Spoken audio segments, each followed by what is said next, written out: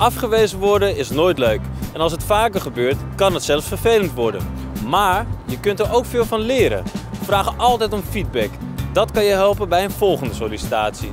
En het klinkt misschien heel gek, maar don't take it too personal. Vergeet niet dat jij als sollicitant nooit exact weet waar zij naar op zoek zijn. Vaak ben je niet de enige die op gesprek gaat en zijn de verschillen klein.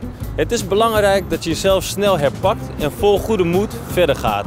Richt je pijlen dan ook niet op die ene perfecte baan die je daarna nergens anders meer zult vinden. Want geloof mij, er zijn meer banen die bij jou passen en waar je gelukkig van wordt. Kijk ook eens buiten jouw comfortzone.